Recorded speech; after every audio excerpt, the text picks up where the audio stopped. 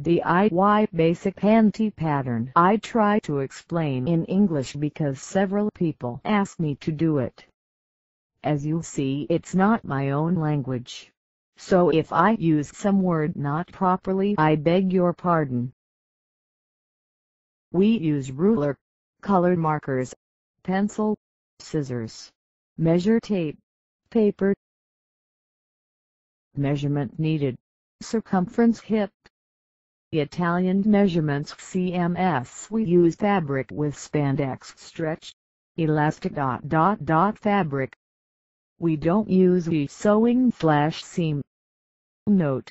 The left vertical line dots line indicates the line where we fold the fabric so we put this pattern line dots line over the fabric fold. We start doing the front panty pattern.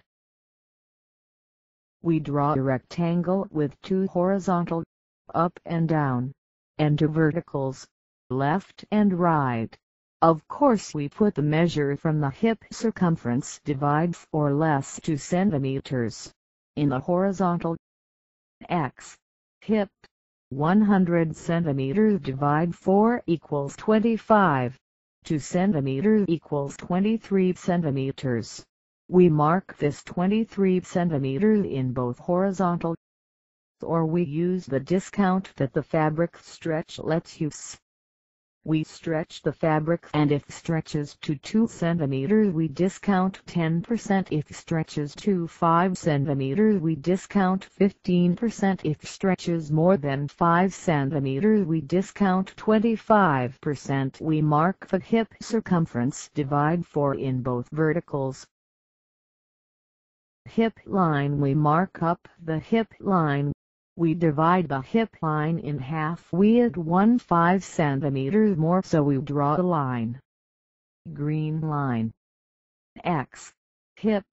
100 centimeters divide 4 equals 25 plus 1 5 equals 26 5 centimeters we mark up the 26 5 centimeters and draw a line a hip line.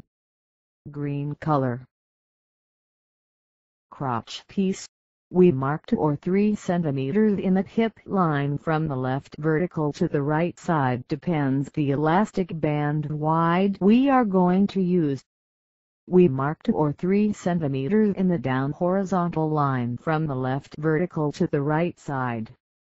We join both marks with another vertical line blue color. We get a rectangle we divide in half with a little horizontal line and we get the down rectangle that is the crotch piece. In the down horizontal line we add 1 cm more and join it with the little horizontal line blue color. From here we join it with a soft curve here goes the thigh to the hip line.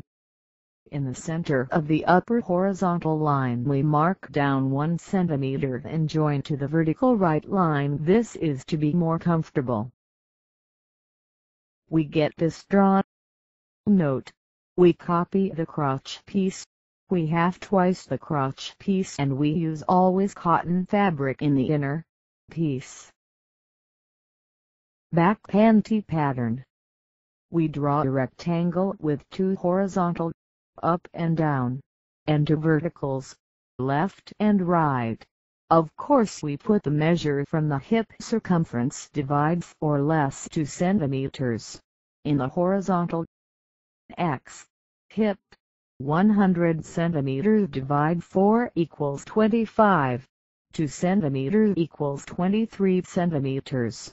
We mark this 23 centimeters in both horizontal or we use the discount that the fabric stretch lets use.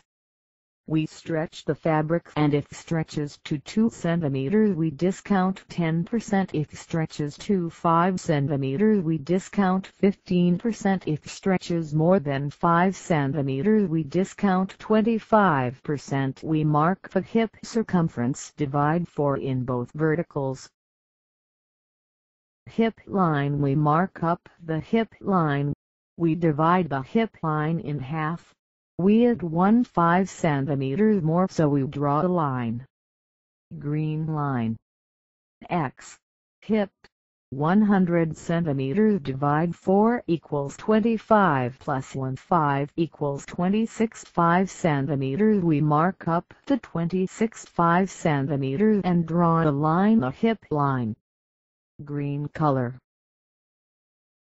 we mark 3 to 4 centimeters in the lower horizontal line we join this mark to the hip line we mark up 1 to 6 centimeters depends how much poppies you have.